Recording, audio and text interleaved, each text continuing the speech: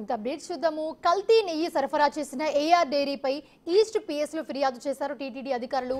నిబంధనలకు విరుద్ధంగా నాలుగు ట్యాంకర్లతో కల్తీ నెయ్యి సరఫరా చేశారని ఏఆర్ డైరీపై చర్యలు తీసుకోవాలని టీటీడీ ప్రొక్యూర్మెంట్ జీఎం మురళీకృష్ణ ఫిర్యాదులో పేర్కొన్నారు.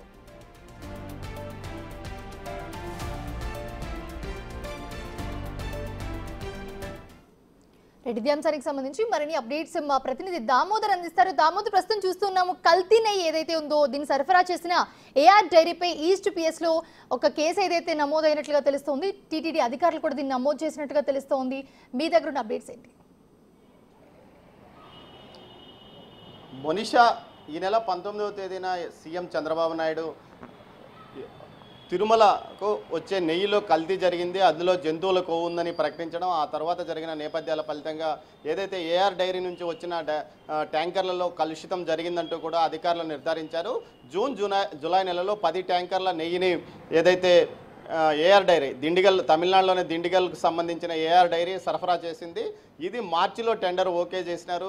రెండు రెండు మూడు వందల పంతొమ్మిది రూపాయల తొంభై పైసలకు టెండర్ ఖరారైన నేపథ్యంలో కిలోకు దీనికి సంబంధించి పది ట్యాంకర్ల నెయ్యి ఆ కంపెనీ నుంచి సరఫరా అయింది. ఇందులో ఆరు ట్యాంకర్లను టీటీడీ లడ్డు ప్రసాదము నైవేద్యాలు అన్న ప్రసాదానికి వినియోగించిన పరిస్థితి. ఈ పరిస్థితుల్లో వీటి మీద మొదట్లో ఏదైతే టీడీ కూటమి ప్రభుత్వం అధికారంలోకి వచ్చి కొత్తగా బాధ్యతలు ఈవోగా బాధ్యతలు చేపట్టిన ఈ శ్యామలరావు ఈ విషయం గురించి టెండర్లలో పాలు ఏదైతే నెయ్యి సరఫరా చేస్తున్న కంపెనీలను హెచ్చరించాడు ఈ సందర్భంగా అన్ని కంపెనీలు దిద్దుబాటు చర్యలు ప్రారంభించినప్పటికీ ఏదైతే ఏఆర్ కంపెనీ మాత్రం తన పరిధి తన స్థితిని మార్చుకోకుండా గతంలో ఏ విధంగా సరఫరా చేసిందో అలాంటి నెయ్యినే సరఫరా చేసినట్టు సమాచారం. దీంతో నాలుగు ట్యాంకర్లలోని శాంపుల్స్ను పరిశీలించారు.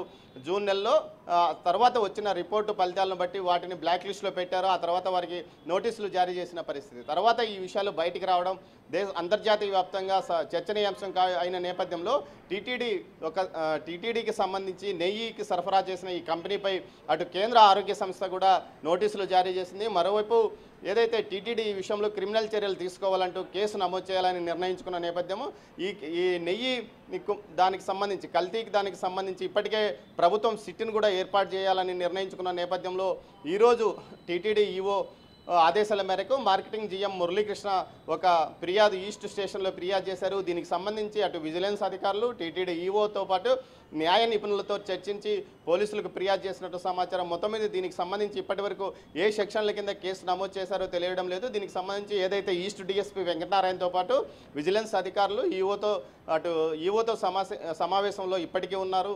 మొత్తం మీద అయితే కంప్లైంట్ చేయడానికి అన్ని రకాల చర్యలు తీసుకున్నారు. కంప్లైంట్ చేసినట్టు కూడా తెలుస్తుంది.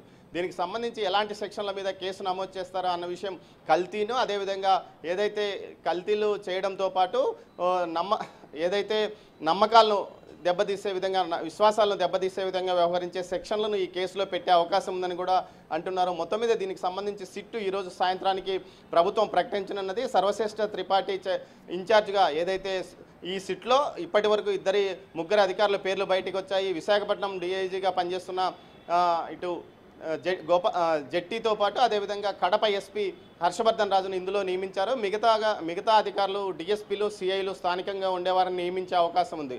మొత్తం మీద ఏదైతే ఏఆర్ కంపెనీకి సంబంధించి ఇప్పటికే అటు కేంద్ర ఆరోగ్య శాఖతో పాటు వినియోగదారుల శాఖ కూడా పూర్తి స్థాయిలో చర్యలకు ఆదేశాలు జారీ చేసిన నేపథ్యంలో టీటీడీ ఒక క్రిమినల్ చర్యలు ఒక ప్రొసీజర్ క్రిమినల్ చర్యలకు ముందుకు వెళ్తూ కేసు నమోదు చేసిన పరిస్థితి. మరోవైపు దీంతో పాటు ఏదైతే గతంలో జీడిపప్పు కానీ ఇతర ఇమిగ్రేషన్ ఇమిగ్రెంట్స్ ఎవరైతే సరఫరా చేశారో వాటి నాణ్యత. విషయంలో కూడా అనుమానాలు ఉండడంతో వాటి మీద కూడా ఒక దర్యాప్తు ప్రారంభించి వాటి మీద కూడా కేసులు నమోదు చేసే అవకాశం ఉందని తెలుస్తుంది. Monisha.